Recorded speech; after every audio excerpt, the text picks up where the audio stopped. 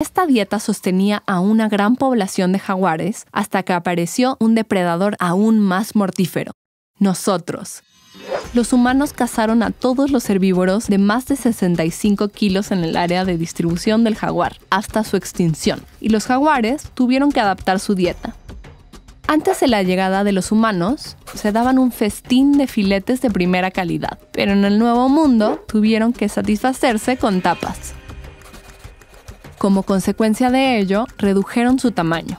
Los jaguares del Holoceno podían pesar hasta 200 kilos, pero los jaguares modernos más grandes tienen aproximadamente la mitad del tamaño de sus antepasados.